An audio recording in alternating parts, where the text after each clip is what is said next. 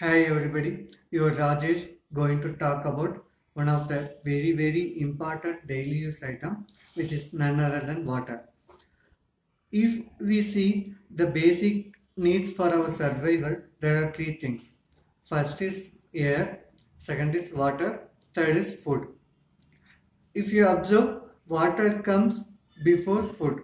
That means without food also we can survive, but without water we cannot survive at all okay? And uh, when i decided to present this topic one incident came to my mind. Around 3 years back i went to my friend's home. That time his five years old son was crying a lot. So i was asking him why are you crying? He was saying that uncle uncle my plant got died. Then i told him okay don't worry you might have forgot to water the plant so we will go outside and we'll buy a new sapling and uh, daily without forgetting uh, plant the water so it will be good. Then he was saying, no uncle I plant I water the plant daily but still it got died. Then I told him okay don't worry the soil might not be with uh, nutrients so because of that the plant cannot grow well.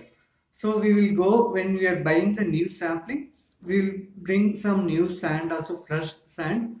So it will be good. Then you are saying no uncle we had two uh, pots. In the next pot my father used to pour water and it was growing well and the same soil was used in my pot also but it is got died it got died. Then i was asking uh, my friend what happened? He told that uh, my friend used to take a tap water directly and pour into that plant.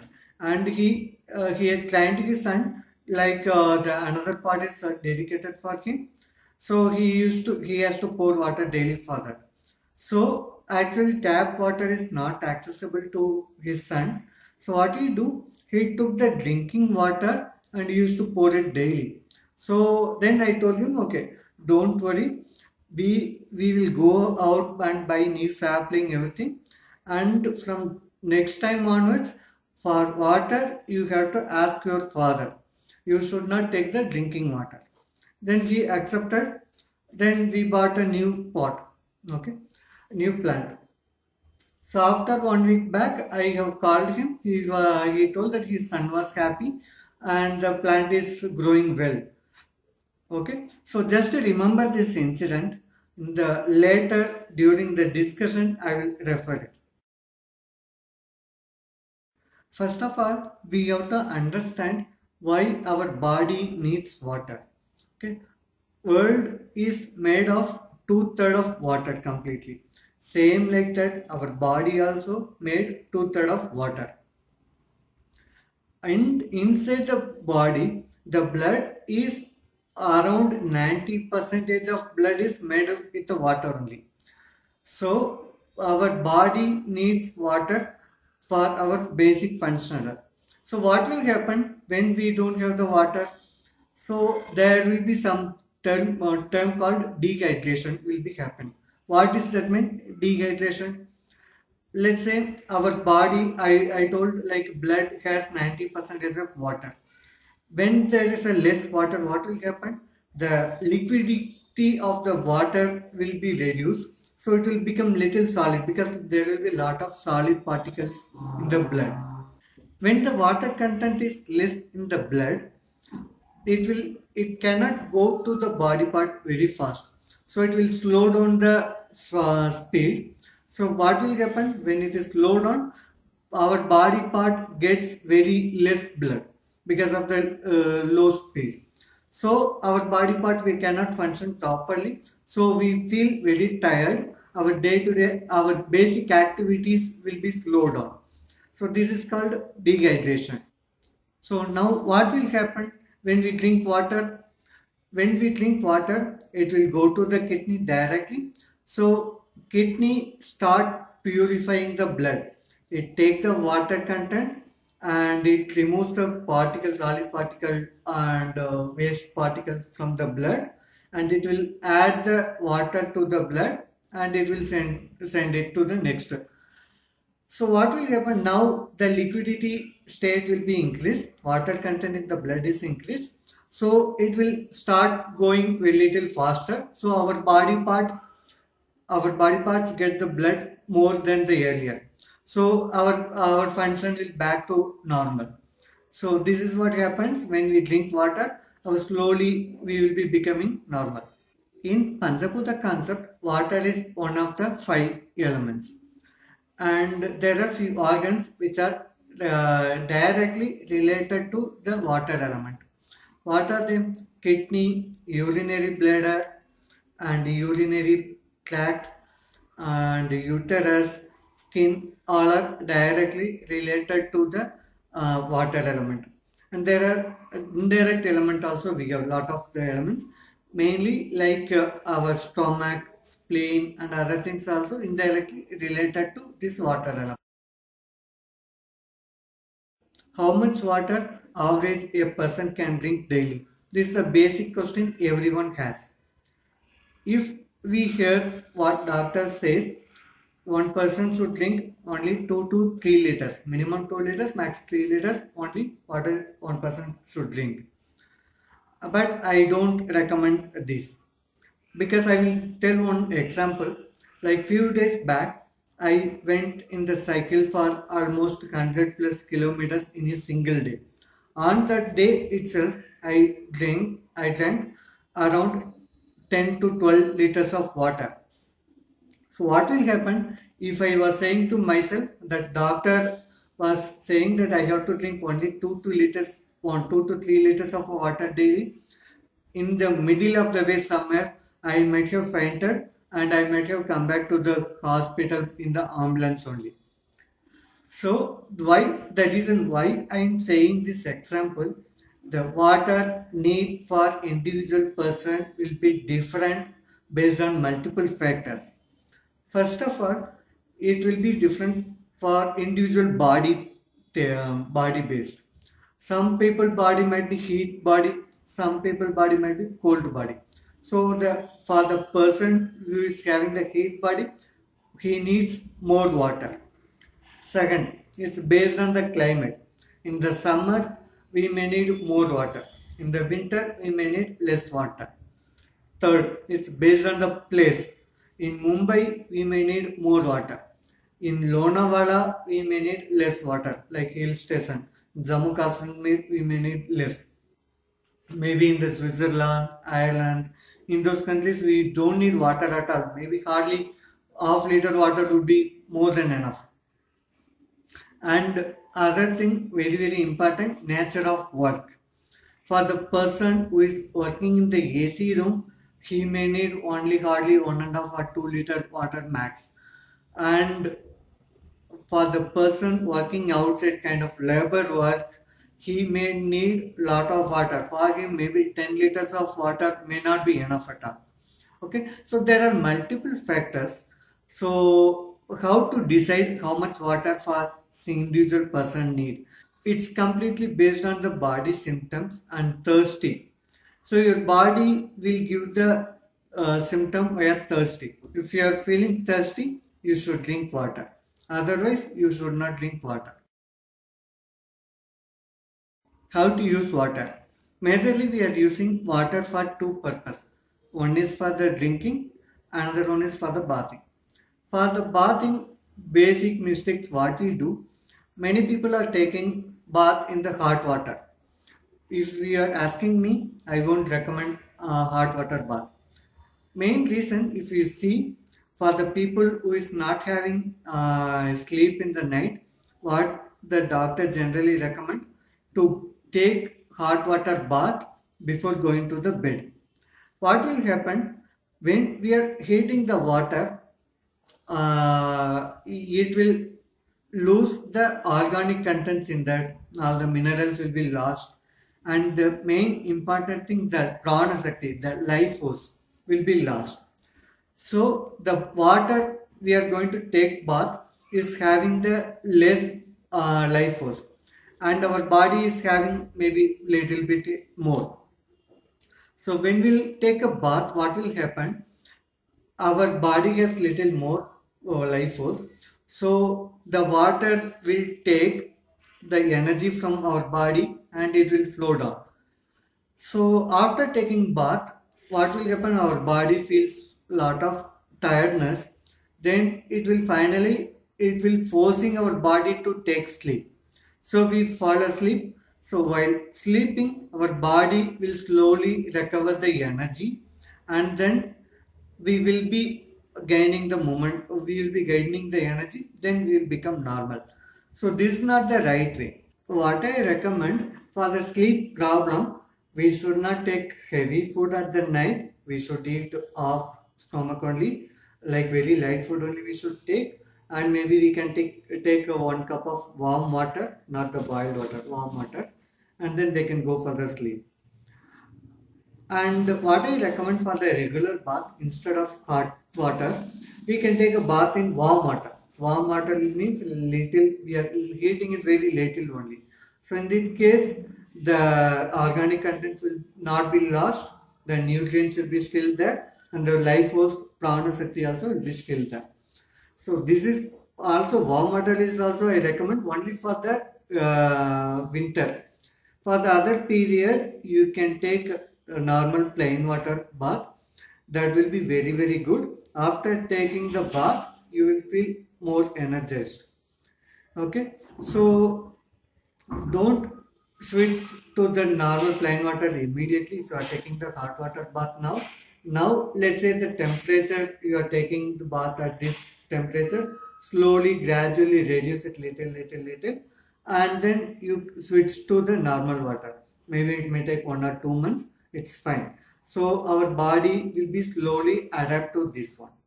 Okay? The second mistake what we do in the drinking drinking like we used to drink water while eating the food. That is not correct. And we used to drink water very fast like that mm, like this. It is not correct. We have to drink water slowly by each chip slowly. We have to chip it and keep it in mouth for a few seconds and then drink it. That is the correct way to drink water. And other important item daily we should take bath in the plain water and complete head bath the reason and first of all you have to start pouring water from the head. In our body there will be lot of toxins like solid toxins water uh, liquid toxins and heat toxins also will be there. So when we are taking the uh, water from the head first our heat toxins will be uh, coming down and it will be flow down into the water slowly but if you're not taking the head bath what will happen when you're pouring the water to the body, the heat toxins will be going up because it is hot over there. So your head will be, uh, all the heat toxins will be accumulated the head. Then what will happen? All the uh, problems related to the skin and uh, hair fall, dandruff and tension, stress, all these things will be uh, coming because of this. But if you are taking the head bath daily and pouring the water first at the head, uh, that all these problem, hair fall problems will not be there, dandruff will not be there, and the stress also will be less.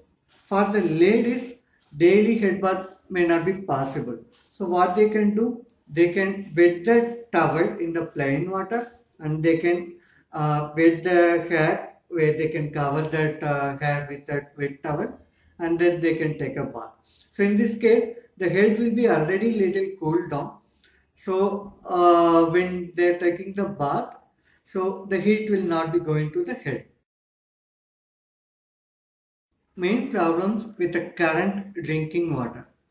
Currently, majorly the uh, what which water we are drinking.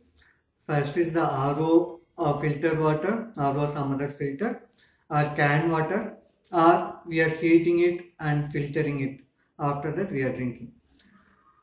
If you are asking me i will not recommend this. The reason if you are boiling the water what will happen? All the organic contents will be lost so it will be having simply H2O only.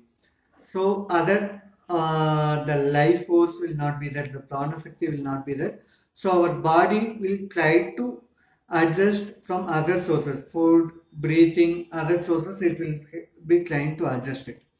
So instead, if you are taking the water, the regular water, so that will be having all these contents. So your body will be getting more energy.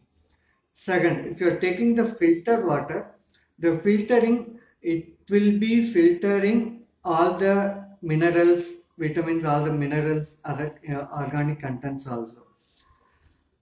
Uh, so the main reason why we go for the filtered water, we are afraid of the germs, bad germs, everything will be uh, affecting us, affecting our health. If we, uh, if we see ourselves, are we using filter while we breathing? No. So around 8000 liters of air we are breathing in daily. So in this air also we will be having uh, uh, germs. Okay, the main understanding what we should have, all the germs, bacteria are not bad. This is one important. Let's say le- there are 100 germs, out of which hardly one or two might be bad. And the remaining germs are really good for us. And the second thing, even though there are one or two few bad germs, our body is capable uh, to eliminate them, uh, eliminate them through multiple ways. Okay, so we don't need to worry about those very less number. The can water also will be same. It will be uh, coming through the lot of filtering process. So it will not be having all the organic contents, minerals, what will what is available in the natural water. You may be thinking the water currently you are drinking is healthy, good. So I will give very simple uh, experiment which you can do it at the home itself. That will suggest uh, that whether the water you are drinking is good or bad. First experiment.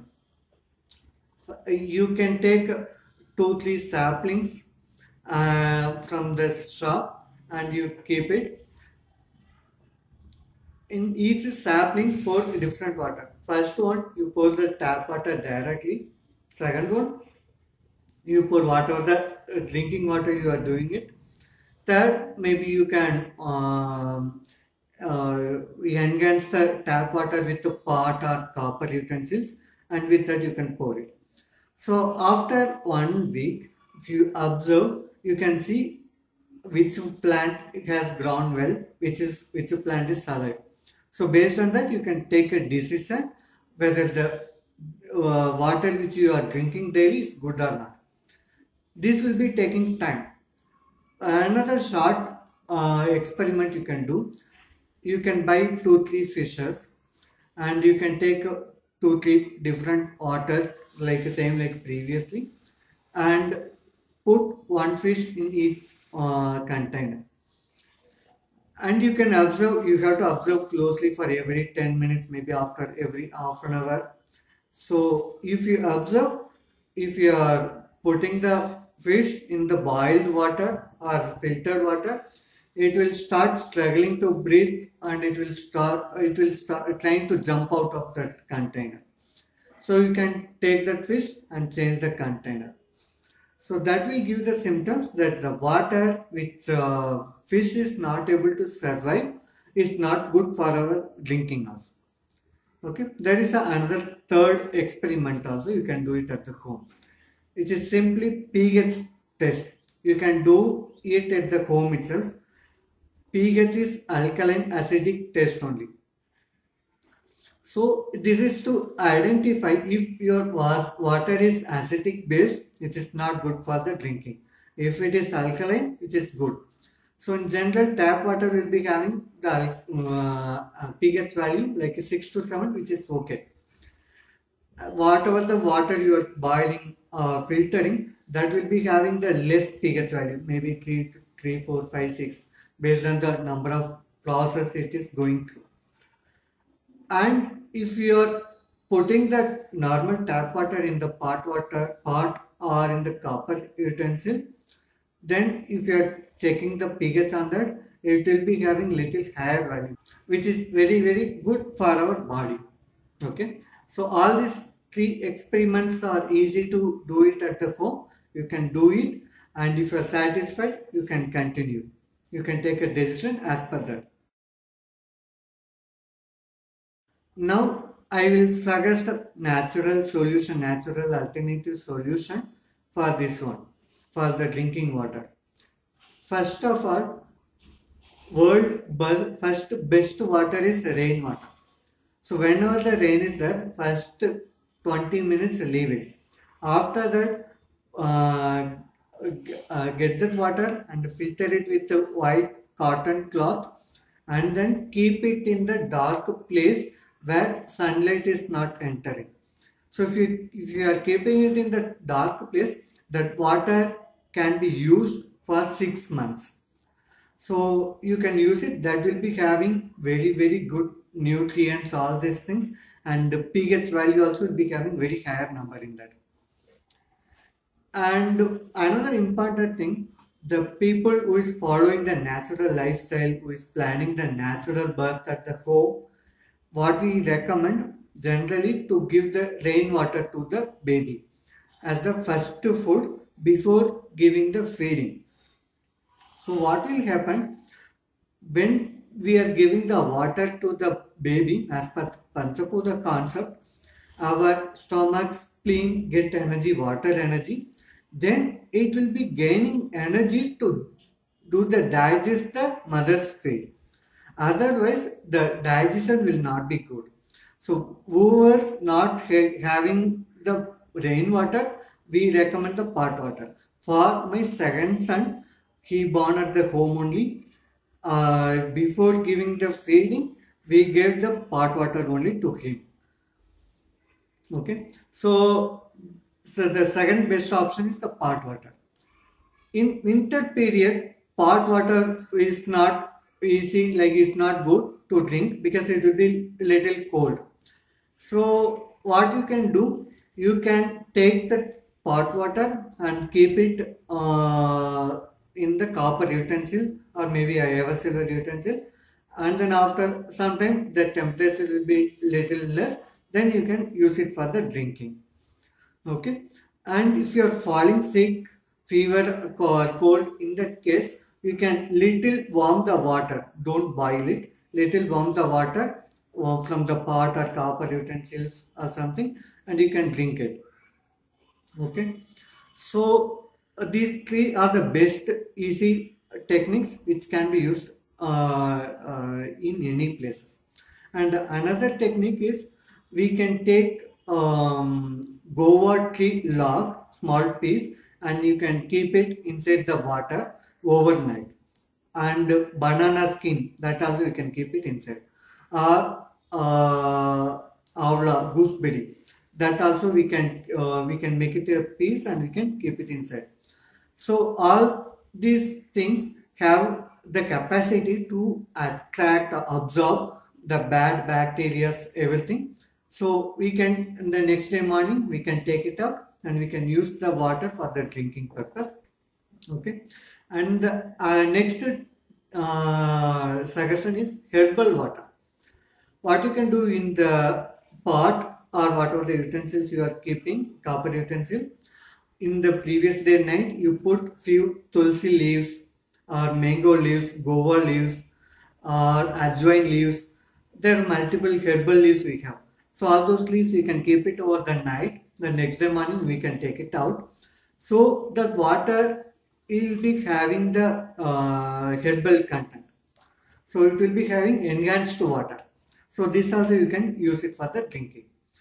And another thing if you feel felt that your water is not good at all it is uh, having very bad taste or lot of uh, toxin something if you want to boil it you can boil it with very low flame but you can keep you can put all these uh, leaves i have told right? The same leaves you can put. Or you can put the jeera also. Um, and then you can boil it and then uh, you can filter it and you can drink it. So in this case even though the uh, main organic things will be lost at least the herbal power will be coming into the water. So in some other way, it will be balanced. So this way also you can drink the water. And another technique what you can do, what are the filter water or something if you want if you want to continue in the situation that you your water is very very poor, it we cannot filter it in that case. You can take the water the filtered water you have and then uh, if you see the in the aquariums there will be some message which will be kept inside. From that bubbles will be coming. You can use the same machine. You can use it in this water. So what will happen? It will take the water from the outside. It will uh, uh, put uh, push it inside the water. So whatever the content mineral contents we have in the air that will be indirectly kind of mixed in the water so in this way, we can filter it, the regular water also, or you can use it in the uh, filtered water also you can use it. So this water will be having little enhanced value. So that will be also good for us. And one important thing you have to remember. Until now you followed filtered water or boiled water something for so long. Now we are going to change as per the suggestion what I am going to what I have told already. So what will happen? So, so far our body did not have some important nutrients, vitamins, minerals. So now our body start gaining all these things uh, through these alternatives. So our body will try to remove some toxins because now body have more energy. So what is the way best way to eliminate cold cough? If your uh, lungs have a lot of toxin particles, then along with the cough, cold will be there. So you should not afraid that it came because of the water. It came because of the water only, but it came for the good purpose. It is for cleaning your body only. So what you can do when you are getting this illness, if you are adult, for one whole day, you should not drink any, you should not eat any food you should not drink this water. You can drink this water. Maybe what you can do you can little warm. Don't boil it. You can little warm drink it slowly. So in this case it will help to our body to eliminate all those toxins which is which was accumulated for so long. So now so far maybe if you have observed earlier if you if the cold comes it might have taken one week, 10 days, two weeks, or sometime one month also it used to be there. So now, uh, when cold comes, it will be cured in let's say one week or 10 days. After six months, cold may come. It may come. We, we cannot say it will never come. It may come to remove the toxins. So that time you will see less severity.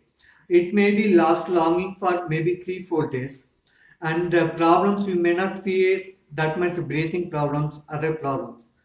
Okay, then gradually over the time it will be reduced and after two years you will never felt like cold is impacting your life at all. It will come, it will be there little bit and it will go off. You may not observe at all. Okay. And some people may get fever, some people may get loose motion and all these things you should not worry about at all. What we have to do naturally, alternatively, without taking the medicines, we have to stop it. There are a lot of ways that we, I will be explaining in upcoming sessions. So remember that all these illness like cold, fever, loose motion, everything is coming to remove the toxins, bad things from our body only. So as a natural alternative, you can follow the basic things uh, like fasting and other things and we can recover very healthy way without taking any medicines. You can contact me also if you have any doubts how to recover naturally without taking the allopathic medicines.